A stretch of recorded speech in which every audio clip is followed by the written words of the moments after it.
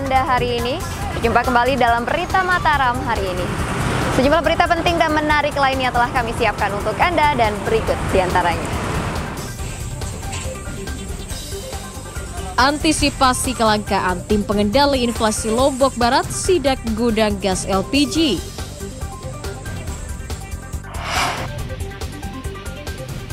Salah paham, seorang pria tewas di Lombok Utara dianiaya adik mertuanya. Ajak warga peduli lingkungan, polisi bersama nelayan di Mataram melepas tukik dan menebar bibit ikan. Bersama saya Rahayu Japar, inilah berita Mataram selengkapnya.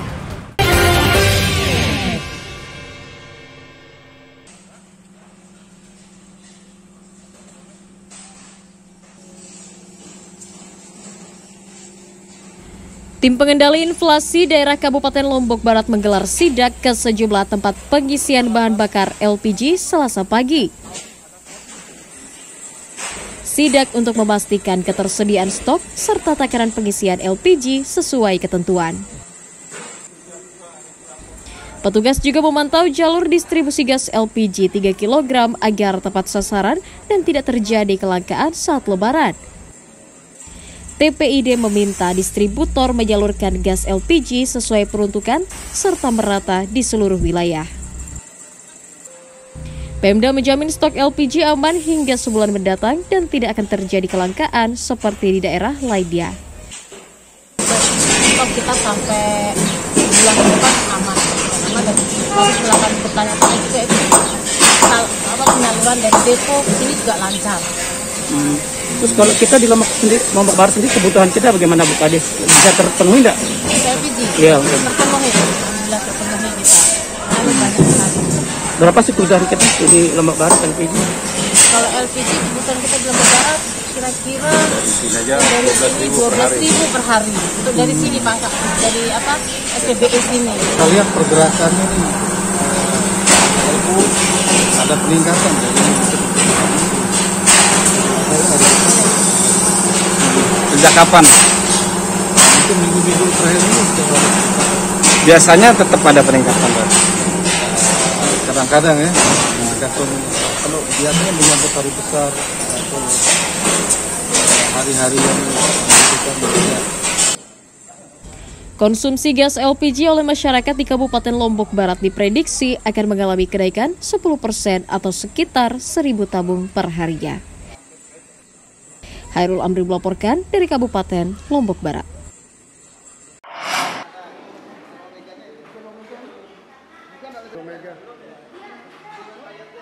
Tim pengendali inflasi daerah TPID Kota Mataram menggelar inspeksi mendadak ke sejumlah distributor telur ayam selasa siang. Sidak untuk memastikan ketersediaan stok telur dan harganya tetap normal menjelang lebaran. Sidak juga sebagai bentuk pengawasan Pemda agar tidak ada penimbunan bahan pokok oleh oknum distributor. Meski menyatakan harga telur masih cukup tinggi Rp58.000 per papan, namun petugas memastikan stok telur aman di pasaran. TPID memaklumi peternak ayam yang menaikkan harga telur menyusul kenaikan harga pakan. Kalau harga dua bulan ini satu bulan ini standar dia masih standar, nggak nggak seperti biasanya. Jadi ya normal sih. Kalau harga tinggi memang karena eh, mungkin pakannya kenaikan pakan, eh, dosisnya juga naik. Selain itu juga minumnya ya sekarang kan mau libur apa mau lebaran Idul Adha.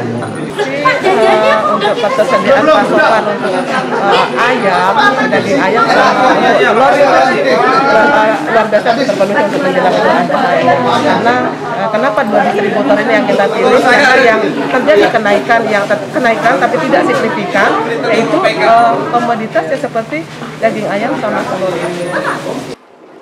Pengawasan harga bahan pokok mulai beras, minyak, daging hingga telur ayam akan terus dilakukan pemerintah daerah untuk mencegah lonjakan harga serta inflasi di daerah. Dari Kota Mataram, Eni Kusuma melaporkan. Kayaknya ibu-ibu plastikannya nih.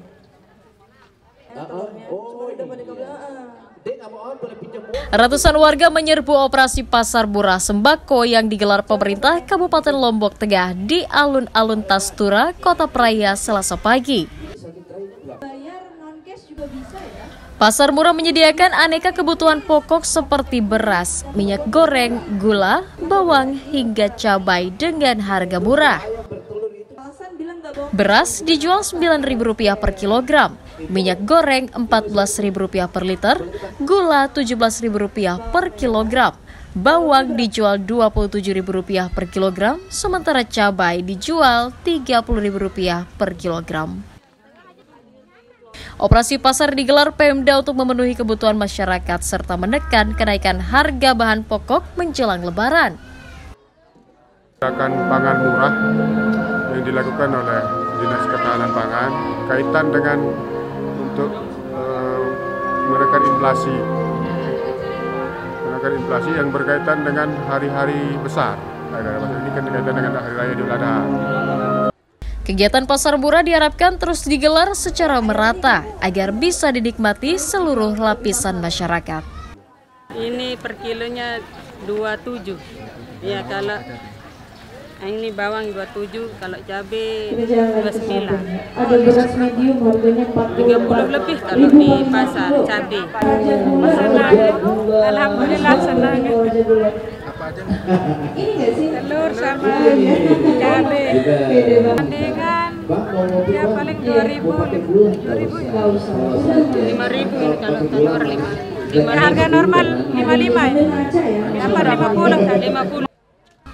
Operasi pasar murah rencananya akan digelar pemerintah daerah hingga sepekan untuk mengantisipasi lonjakan harga bahan pokok di pasaran yang memberatkan masyarakat.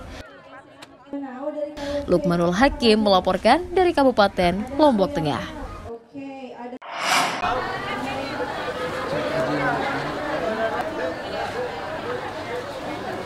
Harga daging ayam di sejumlah pasar tradisional di Kabupaten Lombok Tengah mengalami kenaikan menjelang Lebaran Idul Adha.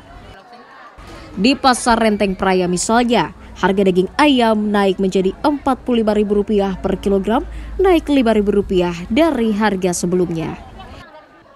Kenaikan harga ayam diduga karena terbatasnya stok ayam di kalangan peternak. Ya kalau sekarang ya 45, 46 kita jual kalau dadanya. Ya, kualitas super ya?